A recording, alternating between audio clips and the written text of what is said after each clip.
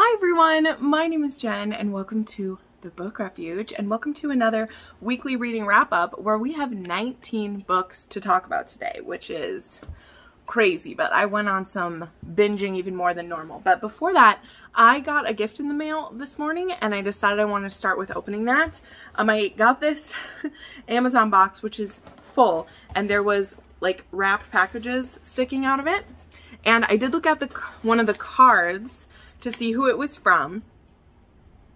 But that's it because then I was like, well, I'm about to film. So let me just do this. So this is what one of the cards says. So it says, Thank you for being an amazing person and supporting me through this crazy journey. I'm so happy to get to know you and hope we can build a cool friendship. Thanks again for everything. From Dr. Taji Wong. So Thank you so much, Taji. I'm so excited to open these because a bookworm, there's no greater joy than getting a box full of books at your doorstep. So let's open this one. oh my god. This is a little bit perfect because this is one of the books that I'm going to be talking about this week. um, it's Bloodied Hands by Adelaide Forrest which we're going to talk about soon, so I won't tell you everything about it, but this is a Mafia series that I binged this week. Um, I found it on TikTok. Um, the next note, couldn't resist, we, you know we love a menage. A menage. Okay, what is this? Oh, yes. Oh God, okay. So number, oh my God. This is a Serena Akeroyd, Masked Sinfully Theirs. This is a book I read quite a while ago. It was one of my first Serena Akeroyds, and it is a MMF, but it starts with a married male couple, and one of the men is bisexual, and so his partner, his husband, like lets him be with women once in a while it's a twisty story, but I absolutely love the recut. These got new covers recently. Serena redid a lot of her books. And I'm so excited to own like my first Serena Akeroyd. That's beautiful. There's some other books in here we'll just grab. okay, this is book three in the series. Wow, I'm so excited to have these. This book is bonkers. We're to talk about it. Let's see. Sinfully Mastered. Okay, this is another book in that Naughty Nookie series. That's awesome. And then Forgivable Sins, and this is book two. Okay. Taji, this is so much. Thank you. Thank you. Thank you. Oh my god. So excited. We're going to talk about these books in just a little bit. Let me see. There's another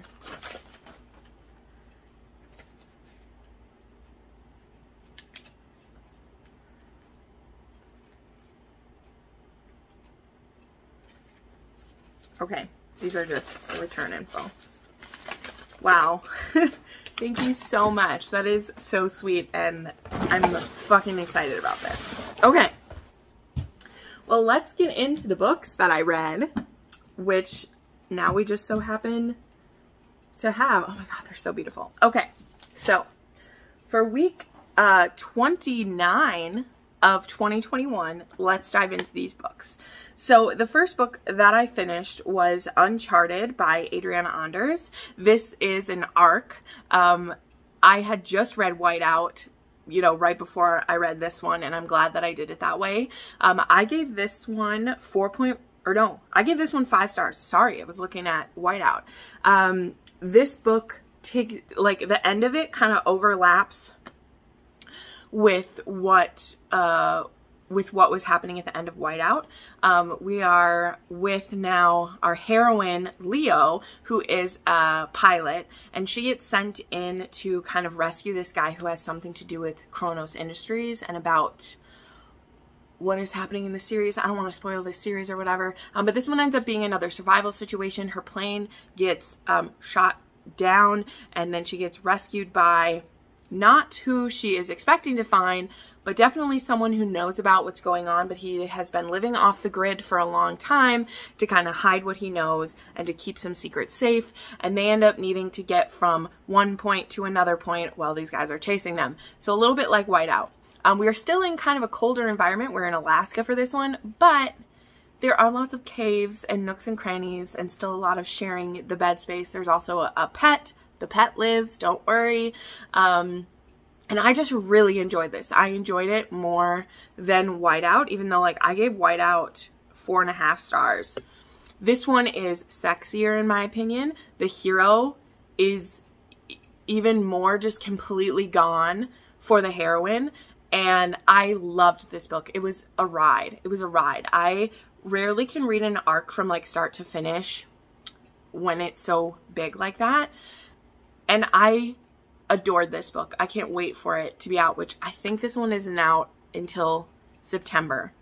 Um, it was funny because I was reading a lot of arcs you'll see that aren't out for a long time instead of the ones that I need to get read, but I can't help myself. So I gave this book five stars and I really loved it. And the setup for the third book, which I'm sure will be another year, is I was like, oh, I want to know what happens. Very excited for what more will come in this uh, Survival Instincts series. Loved it. Then I listened to Cruel Paradise by J.T. Geissinger. Um, I give this book four stars. This is the follow-up to Beautifully Cruel. Um, and I wanted to read Cruel Paradise because Carnal Urges, which is about Daddy Declan, who I loved, he is a pretty decent part in this one and it was really fun getting to see who he was before and how he is kind of set up for the position that he's at in Carnal Urges. But this one is actually about, I probably will not remember the name, damn it. I never write the names down because it's just like whatever. But um, this heroine is a group of this kind of like vigilante women who are from privileged homes who like to give back. So they do these like Robin Hood type thieveries. And so, or thefts. Thefts is the word. And they actually steal a bunch of diapers from one of the warehouses that belongs to this Irish mob family. And when our hero finds out who she is, he goes after her and becomes obsessed with her. But she definitely has some secrets about who she is that don't make her the best option as a paramour for him. Um, but he doesn't give a fuck.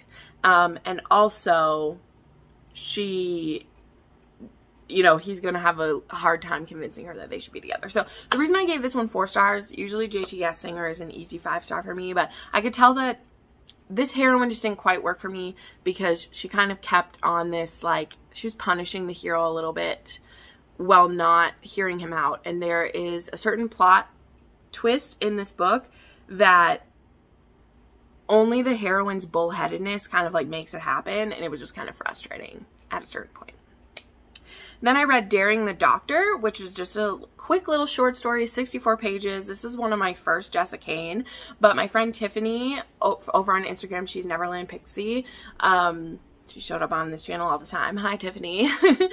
she was binging Jessica Kane last weekend, and I just needed kind of a little palate cleanser after I finished these two more serious books. So this is an age gap um, this guy's a doctor. Our heroine is wants to go to medical school, but she can't afford it. So right now she's a maid. He wants to instantly wants to take care of her and make her dreams come true, but she's like, I don't want to owe a man anything. And he goes about trying to convince her. There's a little bit of daddy kink.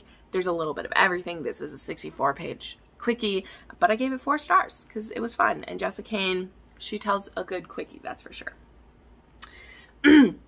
Then I read Red Thorns and Black Thorns by Rina Kent. This was another impulse thing. I actually have these like four books that I'm talking about, the Uncharted, Cruel Paradise, Daring the Doctor, Red Thorns. I actually did a reading vlog last week about these because I just did a weekend reading vlog, which I will have up here. Um, and Red Thorns came about because my bestie, who is not in the booktube community, Shauna, she was reading this and she was like, this hero is giving me Carter Mahoney vibes. And I was like, whoop, okay, my antennas went up, let me try it.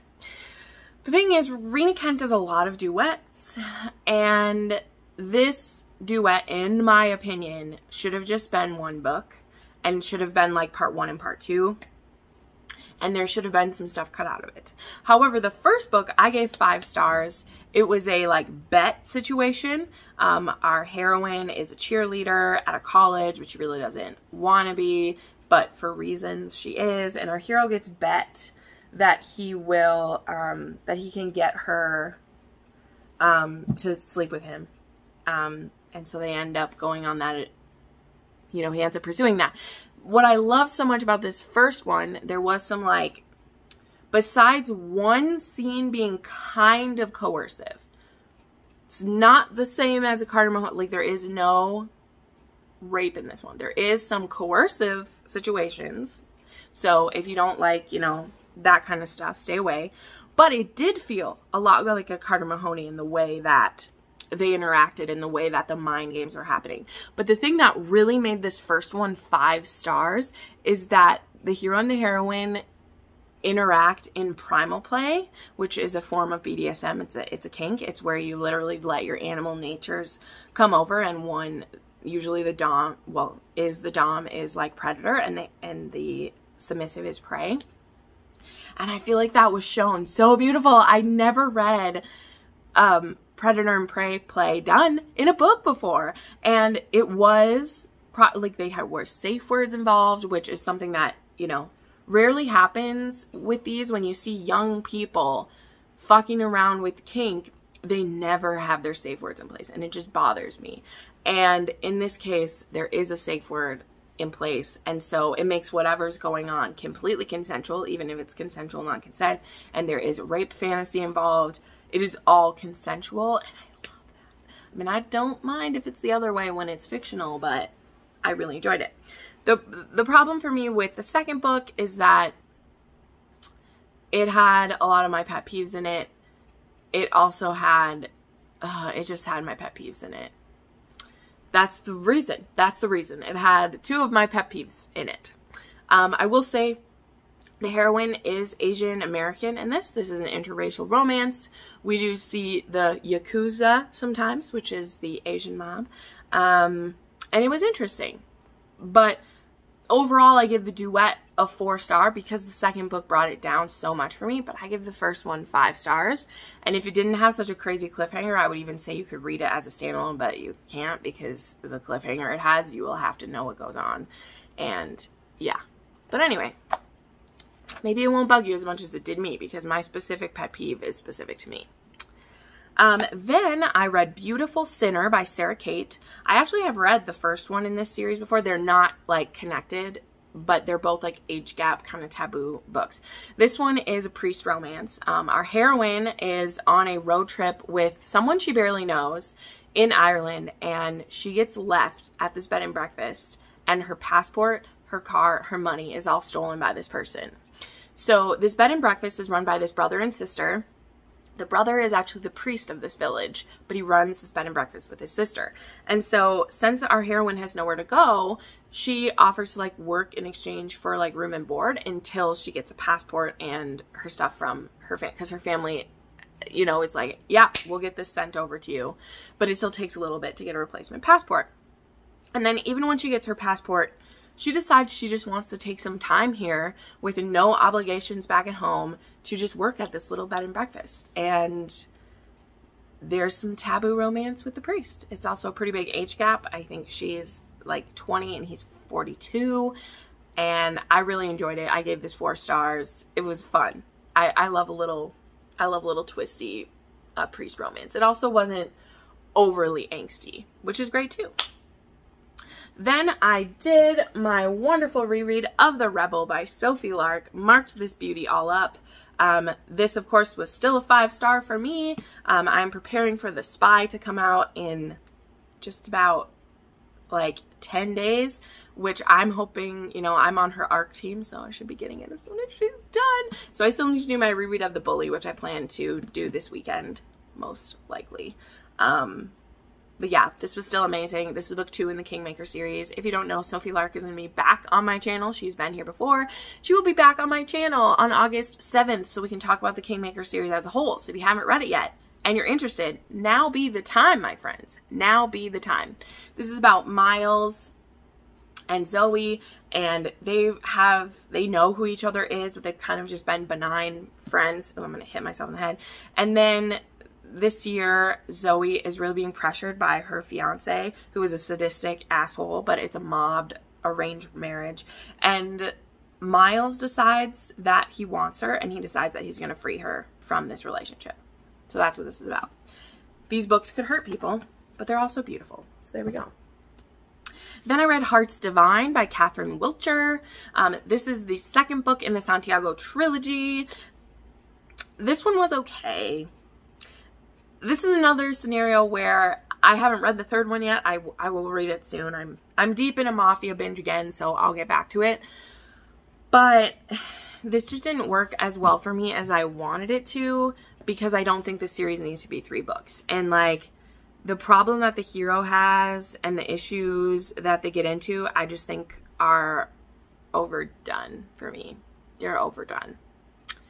So, yeah. But anyway, this one continues it. This is about uh, the daughter of a DEA who a DA who at the beginning of the first one she gets kidnapped by this hero, um, or she trades herself so that he won't kill her father. She, you know, it's kind of a Beauty and the Beast thing with that one and then she ends up stuck with him on his basically his compound.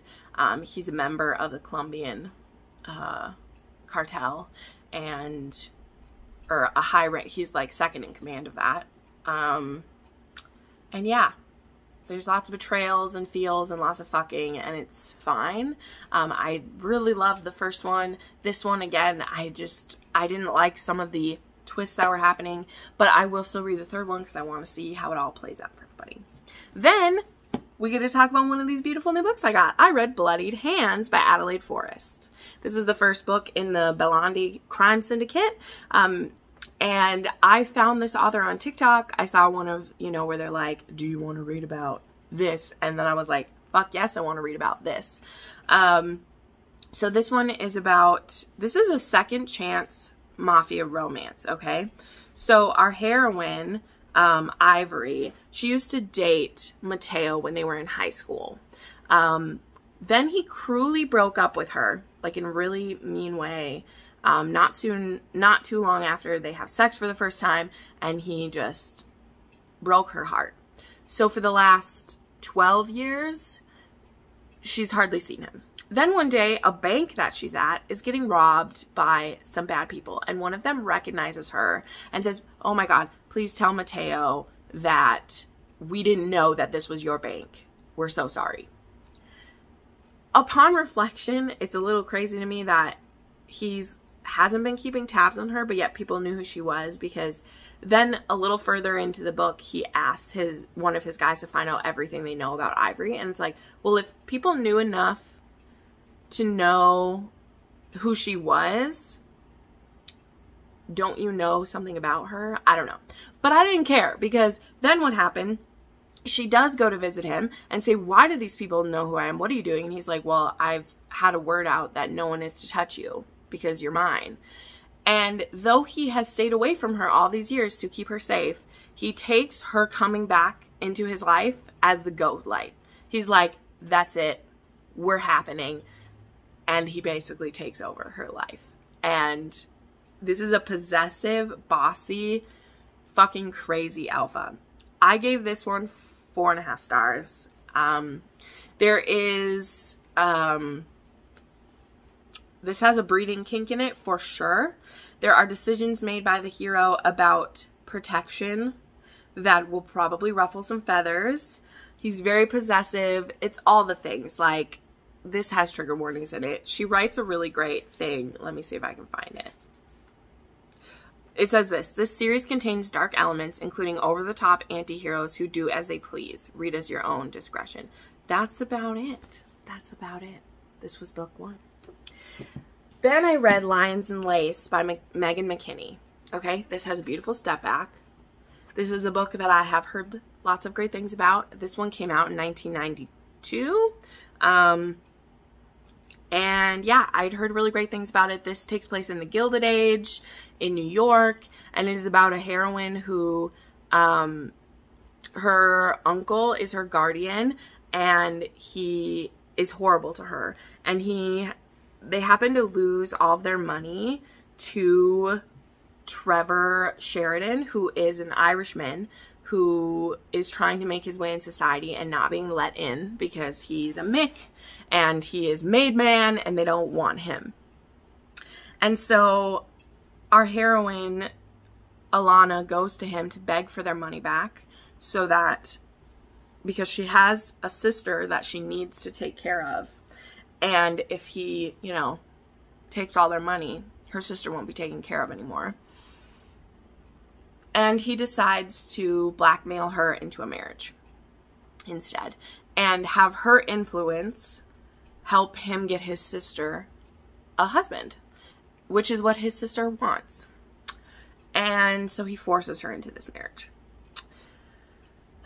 The beginning of this book really reminded me of a Kleypas hero, and there was a lot about Trevor that I wanted to like. Okay? But when I tell you that he was too mean for me, he was too mean for me. He did not bend or show any affection for her until the last page of this book. And I just can't handle that. Like, I can handle an asshole hero. Hell fucking, oh, hello. And I can handle that in a historical. Like, I like it but I need to see their squishy underbelly and I need to see them, you know, trying. And by the time that a couple is having sex, I need it to be clear that they both have feelings for each other. And I didn't buy it. I didn't understand how the heroine started to fall for him because at a certain point it's like she's in love with him but hates that he doesn't love her.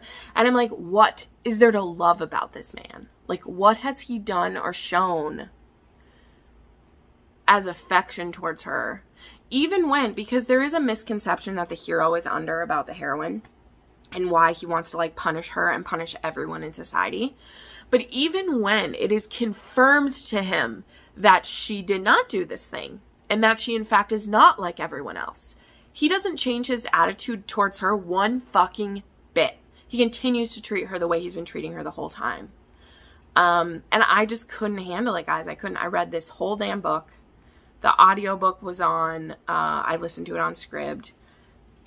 And I was honestly like heartsick by this hero by the time it was over. Like, I didn't even love the heroine that much, but I thought she deserved better. Um, I will be reading the next book because it is about the sister who is being like, she stuff is happening to the sister.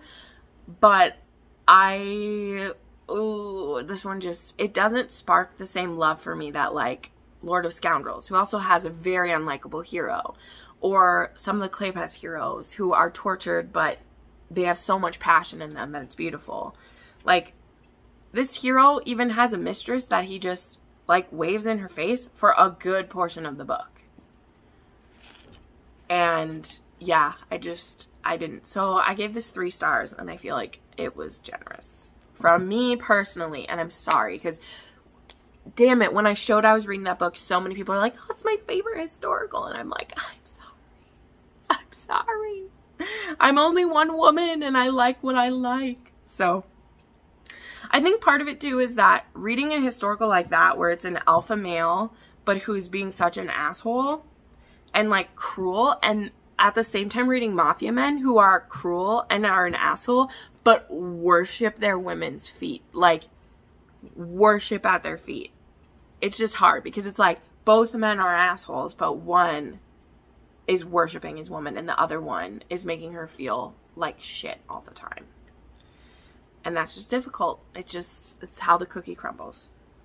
All right. Then I read Forgivable Sins, which, oh, this one was my favorite. This was a five star book. I loved it. This one is about um, Lino, I think Angelino is his name. And um, is it, let me find her name, Samara.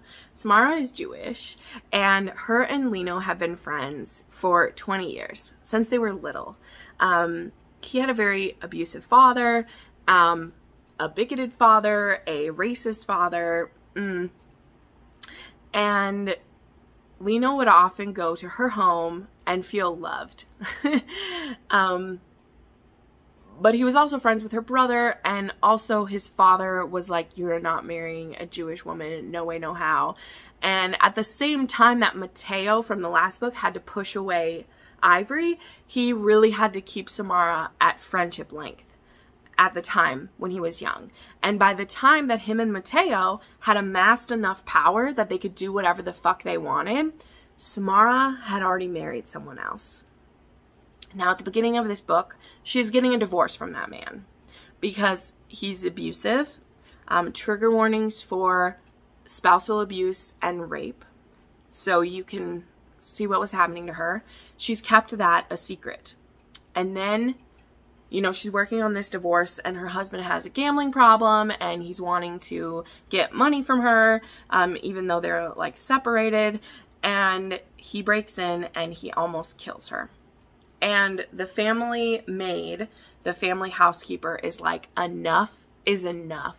And she calls Lino, and the cat's out of the bag. And now Lino knows that while he's been biding his time because he wanted to wait till her divorce was official and all that was done, he was ready to go for his woman, but he was waiting. He was trying to be respectful.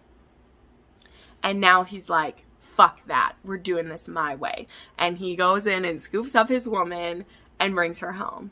And there's still a lot of the same like possessive over the top stuff because that's the way Adelaide Forrest writes her men. But this one just melted my heart. You know, I I highly recommend because I've had a few friends that as soon as I started talking about this book, they started reading it and maybe this didn't work for them. You know, the plot gaps I mentioned didn't work or the hero, you know, his level of obsessive obsessive obsessiveness didn't work.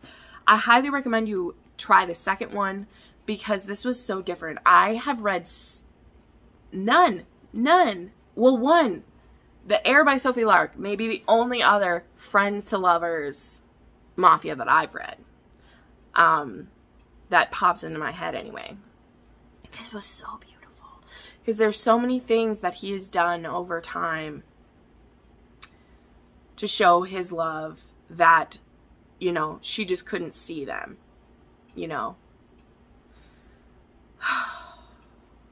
I really loved this, guys. I really love this a lot. I gave this one five stars. It was so good. Then Maggie Cole came through for me. She came through for me, and I got to read Brutal Defender. Ah!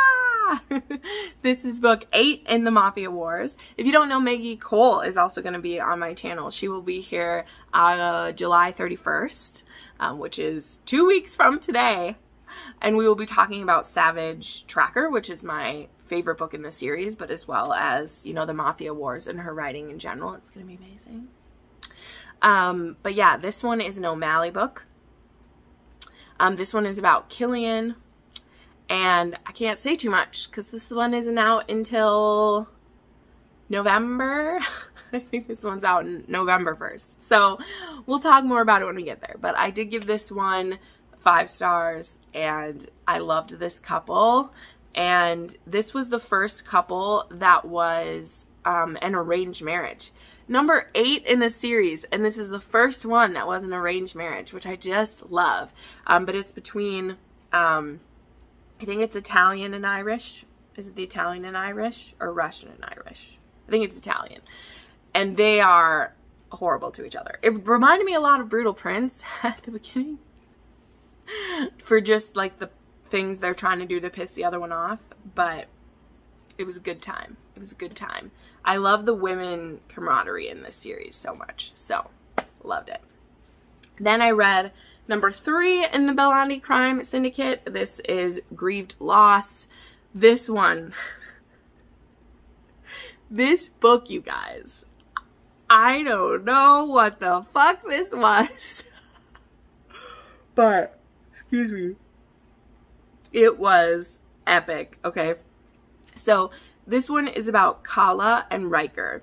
And Kala lost her husband a year ago. She has a five, six year old and a two year old children. And she's just been making her way. Her her husband was a police officer, Little did she know her husband was actually a dirty police officer who was working with the Bellandi crime syndicate and he died because one of their like it was an accident that he died. He was just doing a check for the crime syndicate and he got shot and killed. Now our hero Riker, he is an enforcer and a murderer and psychopath for the Bellandi crime syndicate. He's a made man in the family and he has been watching Kala for four years because when they first approached her husband to work for them, his job was to scope everything out. And he's been watching Kala since then and biding his time. And he was never going to step in when she was still married. Um, but her husband's dead and he's waited and given her time to mourn and now he's ready to make his move. And the man has a plan, y'all. He has his mansion all tricked out. He's made an amazing little race car room for the little boy and a unicorn princess room for the little girl. And he has tricked everything out. And then he goes in and gets his woman. And there's nothing she can do about it. This is a captor captive book. The dude takes a woman and her two kids. And the thing is, his whole family knows. And he wins over her small amount of family members very quickly and just takes over her life. Oh my god. It's fucking bonkers. And I was here for every second of it because Adelaide Forrest writes a fucking book. So there you go. Then I read a couple more arcs. I read Twisted Games by Ana Huang, which comes out on the 29th. Um, I got put on the arc team for this and I'm so happy I did. This is book two in her Twisted series. I think there's four books planned for this. This is about our princess and her bodyguard. I gave this five stars. It gave me so many Princess Diaries 2 vibes, if you know what I mean, but like darker and sexier. This isn't, you know, just like I feel like Twisted Love was actually darker than this one was because the thing that really made this darker is that it's the sexy times are crazy. But this is really kind of like enemies to friends to lovers thing because he is her bodyguard for two years throughout the story. Like in the beginning, we're kind of, we see when they first meet her normal bodyguard while she's going to college because um, she stays away from her country because she wants to live as normal of a life as she can. And her bodyguard is going on paternity leave. And so that's when we meet Reese, who steps in as her bodyguard and just comes in with all these ideas and things that he's going to do. And she's like, whoa, I've been doing things just fine. I don't need to change. But things start to change. Like there is some things that happen with her family that cause her to have to go back home. And as her relationship with Reese is evolving and things happening, things get tricky. Um, I don't want to spoil anything about this, absolutely not. But I adored this book. I liked Twisted Love, but I gave that a four star because the ending and like the conflict at the end, I was just like, okay, whatever. For the story that's set up, the way that the third act conflict and resolution plays out was perfection. This was amazing. I was real nervous that we were going to get a situation kind of like the first one where I was going to love everything leading up to it and then just be kind of like meh at the end. That did not happen in this one. It was a slow burn and things are happening and things are building and they're building their relationship and then it was great. This was five stars. I absolutely loved it. I can't wait to read more in the series because the next couple is set up at the end of this one and I'm just very impressed and I feel like you can tell just how much she's grown from the first to the second book because there was some things that were smoothed out and the way the relationship played out was it was great. I loved it. Then I got to read Electric Idol by Katee Robert. which I can't say anything about, y'all, because this book doesn't come out until January. But the arcs were up on Edelweiss. They haven't went up on NetGalley yet, so there still may be an option for that. Um, Katee said they will still be going up there. But I saw them go up on Edelweiss, and I haven't got a ton of books through Edelweiss yet, but I was like, I am going to ask for this book in every avenue. I emailed the publisher already, but then I got approved with Edelweiss, so I was just like, okay, cool. Um, but I loved this book. I gave it five stars. I still think I Like Neon Gods better. That was a six star read for me. But I loved this. And so the setup of this is that Eros, Eros is sent to kill Psyche by his mother. And instead of murdering her, he offers her a marriage so that he can protect her. His reasons for doing that are Psyche is one of the few people who've shown him kindness. So that's the inciting incident is that he's injured for reasons and she happens at a party to notice him coming in with like blood on him and so she patches him up. Well then some people see that happen and his mother hears about it and his mother is like we cannot have our family be connected with the Demetriou sisters so you need to kill her. And he doesn't want to because this is the only woman who's shown him kindness. Psyche is a plus size fashion icon, actually, um, who makes a lot of her own clothes, or has clothes custom made for her. Um, and Eros is just so in love with her. And some things I can say without, you know, spoiling this. And also, it's so far away, if people still remember me saying this. The thing that I love about this the most is how Katee Robert wrote Psyche where she's not embarrassed of her body. She is proud of who she is, but that doesn't mean you don't feel uncomfortable sometimes when clothes aren't made for you or when people say something mean. You're not 100% confident 100% of the time, but that also doesn't mean that you have body hate. Because guess what? Even the most perfect body, they have those issues too. And so just because you'll have moments of like, oh, I don't like my arms in this, or oh, I don't like how I look at that angle, who cares? you're still a well-rounded, healthy human if you have those thoughts sometimes. You know what I mean? So I thoroughly enjoyed this. I can't wait to read it again. And I'm sorry y'all can't read it until January. But I'm not sorry that I read it. So then I read A Guy Walks Into My Bar by Lauren Blakely. I went on a bit of a deep dive into um, narrators this week. I found an old podcast I mean, I haven't seen a ton of like, they have some newer stuff. They, they're still going. But I found some old episodes of this podcast called Audibly Addicted that has interviews with narrators as well as authors who pick their narrators specifically or like write books for narrators specifically. And Lauren Blakely is really well known for doing that. A lot of her books are audibly Audible exclusive. And there was this book that she wrote specifically for Joe Arden and Shane East to narrate together. So this is a male-male romance and it's set in a world where there's literally no homophobia. There's nobody to gainsay them or naysay them. And it's more just about can they make their worlds mesh? Because our hero, one of the heroes, um, his name went out of my brain. Shit. The Shane East character. What's his name? Fitz and I can't remember, it just went out of my head. But he uh, he owns a bar in England, and Fitz is a hockey player from New York who happens to be in England helping his sister set up at her um, college that she's going to be going to, and he's staying there for a week.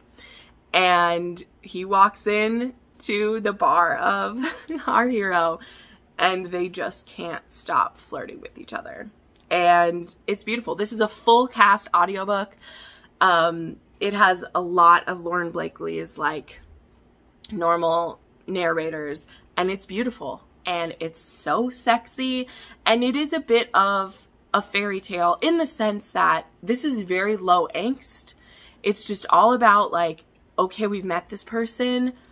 Oh my God, I think I'm in love. Oh my God, I can't live without them. And it happens within a week. So that's what I mean by fairy tale.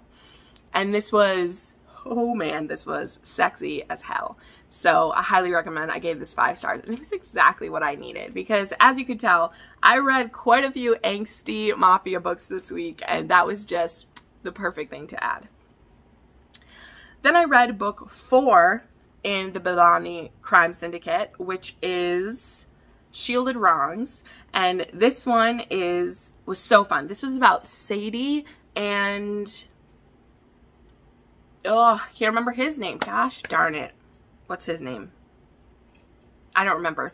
But it's another like enforcer for or a made man for the syndicate and Sadie is the best friend of like the heroines that we've seen so far and she runs she works at her father's gym and helps teach women self-defense. She's taught self-defense to some of our other ladies in this series and yeah, it's it's pretty cool. But what happens is this book starts with her being attacked in her home. She's able to defend herself and, and subdue the guy um, because that's what she does as a job.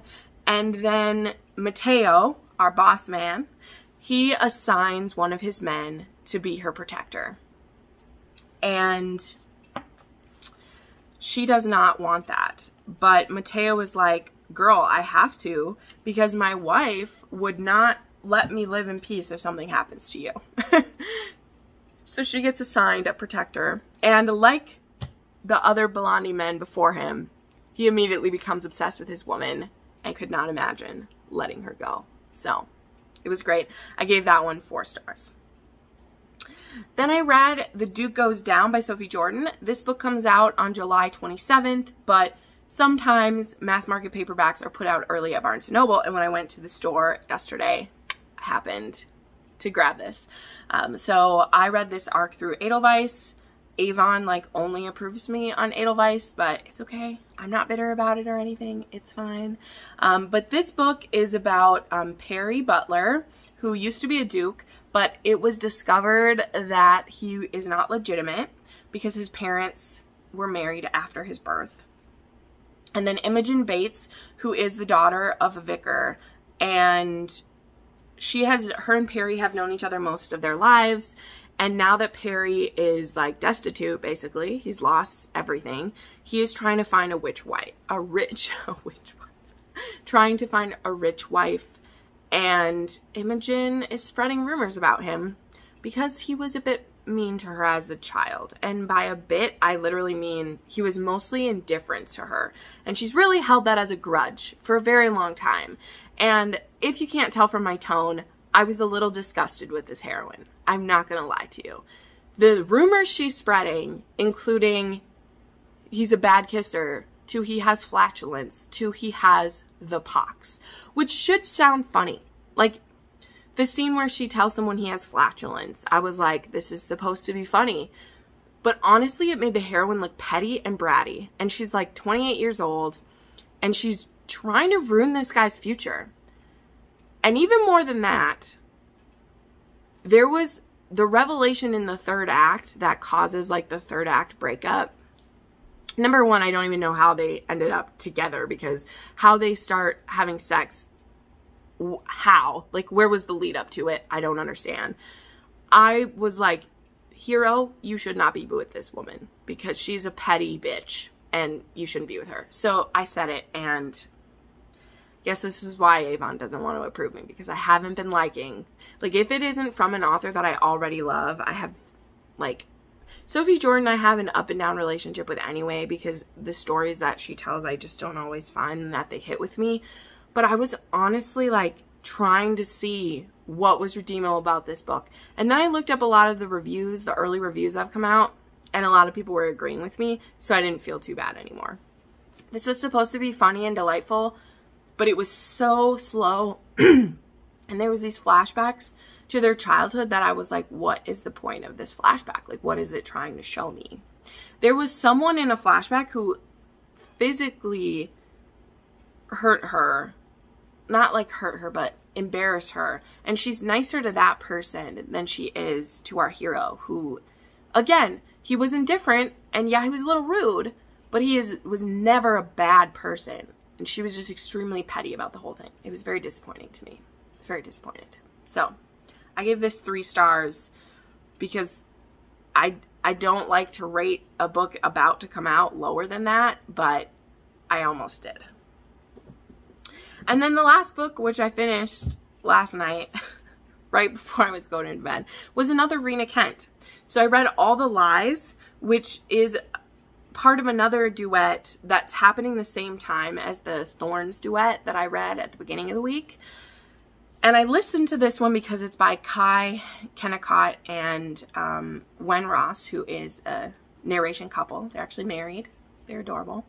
Um, and I was bored by this one. This one, I was really intrigued for this story too because I liked hearing about these characters in the other duet.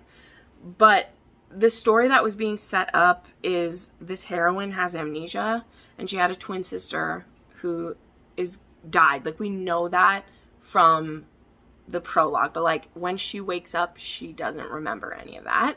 And she has this guy who is her fiance and she's only 21 and this is her fiance and he's like i'm gonna punish you my little monster and then there was a reveal on the very last page that's supposed to be the cliffhanger into the next book. And literally i was listening to this until i went to bed last night and i was like okay. Okay. So i gave this one three and a half stars. And I, I don't know if I'll, I'm, if I read the second half, it'll only because I want to listen to Kai and Wen some more because this just wasn't working for me. So the week did end with a little bit of a fizzle, but I had a lot of bang bangs going on throughout the week. So this is what I read this week. Again, Taji, thank you so much for the wonderful gifts. I am so happy with these books. You can't even believe it. Thank you so much. Thank you to all of my channel members for all your support. Um, if you like this video, make sure to subscribe and hit the like button. I put up new videos like this every Sunday, as well as I have recommendations and other things to go up throughout the week. So thank you so much for watching, and I'll see you next time. Bye.